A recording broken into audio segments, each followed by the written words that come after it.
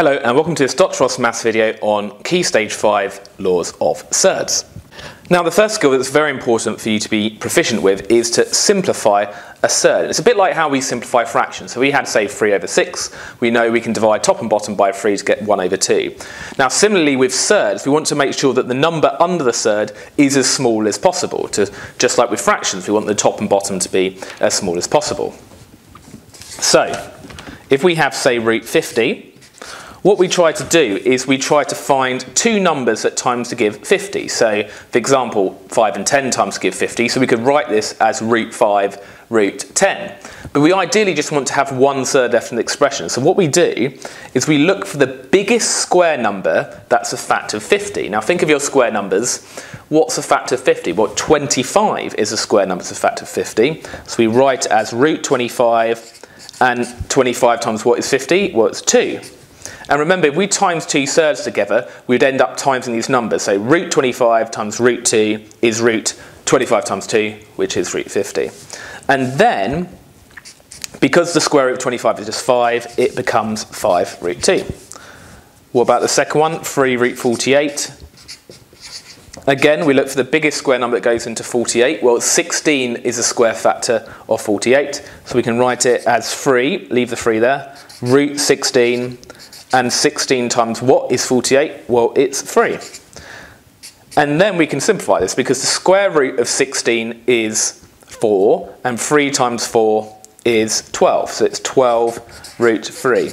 In general with surds, when you multiply two expressions like this together, we can times together the surds together to simplify. So like root 2 times root 3 is root 6. And the non-surds can also multiply. So the 3 times the 4 combine to make the 12, but that can't combine with the root 3 because that's not a surd and that is a surd.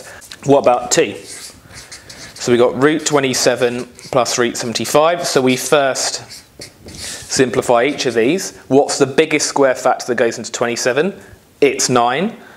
And root 9 times root what is 20, root 27? 9 times 3 is 27. And then the biggest square factor of 75 is 25, so it's root 25 root 3. Now the square root of 9 is 3, so it's 3 root 3, and the square root of 25 is 5. Now if we have 3 lots of root 3 and we add 5 lots of root 3, we have 8 lots of root 3. It's a bit like if I had 3x plus 5x, then we would know that would be 8x. But we're just replacing x with root 3 here. What about b? We've got 6 root 8 plus 2 root 18. Do the same thing. Now root 8, biggest square factor of 8 is 4, so it's 6 root 4 root 2. And then root 18 is root 9 root 2. 6 times the square root of 4 is 6 times 2, so it's 2 root 2. And 2 times the square root of 9, 2 times 3 is 6. If we have 2 lots of root 2 and we add 6 lots of root 2, we have 8 lots of root 2. Next, some timesing questions. So we've got 4 root 2 times root 3. Now, as I was saying earlier, we can multiply the surds together, so that becomes root 6, but the non-surd has to stay as it is. So we've got 4 and then root 6. What about b? We've got root 6 times 5 root 6. Well, again, we can times the surds together. Root 6 times root 6 is root 36, and the square root of 36 is just 6. So if you times a surd by itself, it just gets rid of the square root. So we've got 6 times the 5 is just 30.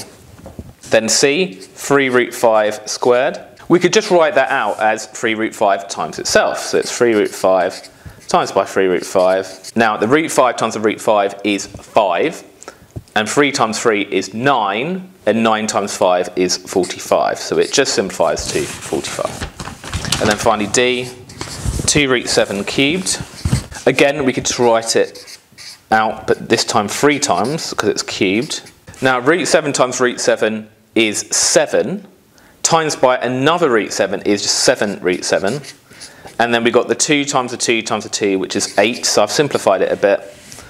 And then 8 times 7 root 7 is 56 root 7. What about these ones here? We've got some brackets to expand. So root 3 plus 1 times root 3 minus 2. Now with expanding brackets we know we times each thing in the first bracket by each thing in the second. So root 3 times root 3 is root 9 which is just 3. I'm just going to put root 9 for the moment, we'll simplify it later. Root 3 times minus 2 is minus 2 root 3. 1 times root 3 is plus root 3. And 1 times minus 2 is minus 2. Now, let's just simplify the bits of it. That's 3 minus 2 root 3 plus root 3 minus 2. And then we can collect surdy expressions. So these root 3 terms, we've got minus 2 lots of root 3 plus 1 lot of root 3. Minus 2 plus 1 is minus 1. So we have minus 1 lot of root 3. And the 3 minus 2 is 1. And I probably prefer to write it like this, so 1 minus root 3, because we like to start with the positive term first. And then b root 8 plus 5 times 2 minus root 2. Now root 8 times 2 is 2 root 8. We'll simplify that later because root 8 can be simplified. Got root 8 times minus root 2. Well, it's negative for start because positive times negative is negative. And then root 8 times root 2 is root 16. We'll simplify it later. Then we've got the 5 times the 2 and then we got the 5 times the minus root 2 is minus 5 root 2. Now let's concentrate on simplifying these terms next. So root 8 is root 4 root 2. Six, root 16 is just 4. And then just copy the rest. 2 times root 4 is 2 times 2, that's 4 root 2. Minus the 5 root 2 is minus 1 lot of root 2 and then minus 4 plus 10 is plus 6. Again, we could write this as 6 minus root 2 to make it a bit tidier. Now moving on to rationalising the denominator. And what I mean by that is to make the denominator of a fraction rational. Because surds, roots, are irrational. And that means, by the way, that you can't express them as a fraction involving integers. Now, we don't like to have root fifth of something. We'd rather that the surd be in the numerator. So we rationalize the denominator by somehow getting rid of the surd in the denominator without changing the overall value. And the reason we do it is because it allows us to collect like terms uh, more easily. And we'll see that with b as we get to that. Because at the moment, even if we simplify that root 27 to 3 root 3, which it is, because that root 3 is in the denominator, whereas there's no fraction here, it's not easy to collect those together.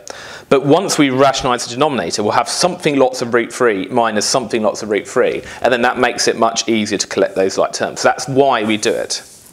So this first one, we've got 15 over root 5. Now the strategy here is, well, think with fractions. We can times top and bottom by something without affecting the overall value, as long as it's the same thing we times by.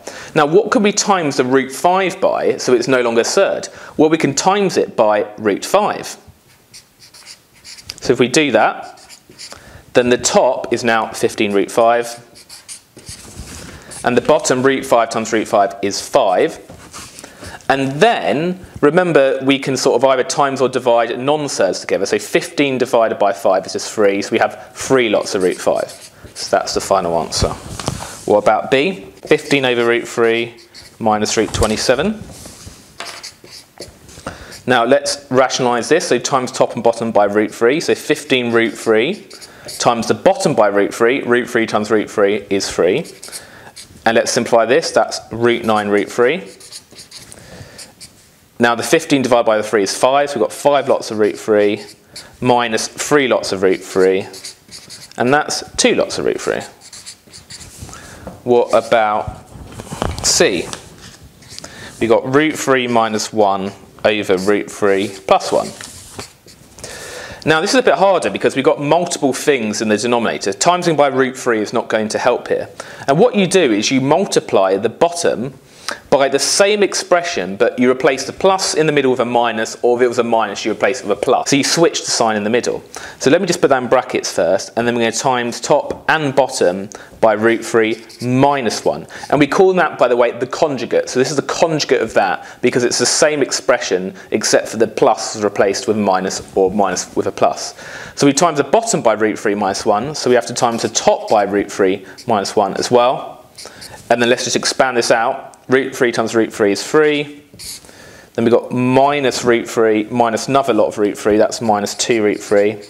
And then minus 1 times minus 1 is plus 1. Now let's see what happens here. We've got root 3 times root 3 is 3.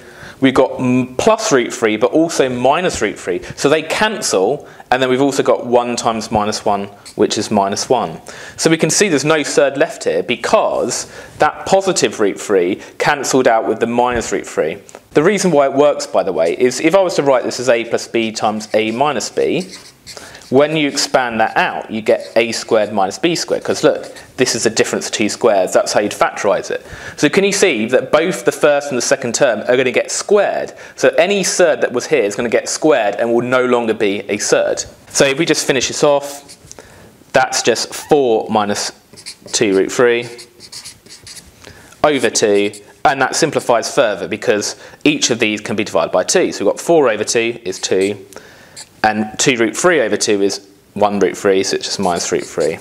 What about d? Again, we do the same thing. We're going to times top and bottom, I'm going to put that in brackets first, by root 12 plus root 8. So we're multiplying by the conjugate. So we times the top also by root 12 plus root 8, the same thing.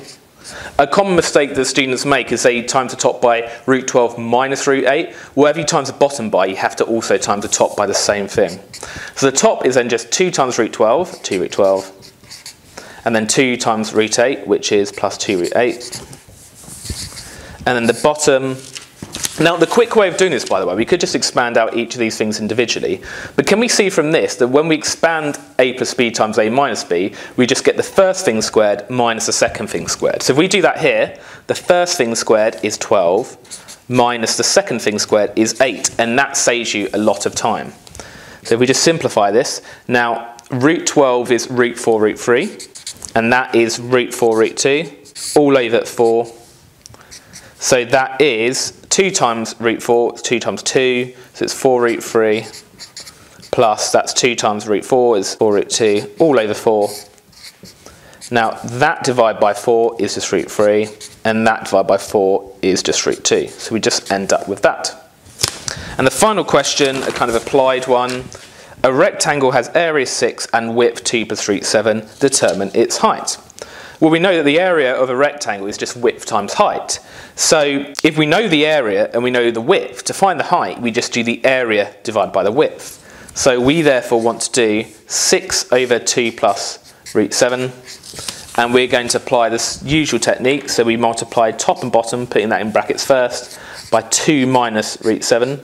So the top just becomes 12 minus 6 root 7. And if I apply my little trick to the bottom, it's the first thing squared minus the second thing squared, so that's 4, minus root 7 squared is 7. So we get 12 minus 6 root 7 over minus 3. Now 12 divided by minus 3 is minus 4, and minus 6 root 7 divided by minus 3 is plus 2 root 7. And let's write that in a nicer way of 2 root 7 minus 4, which I would hope is positive, because otherwise we've got an impossible rectangle.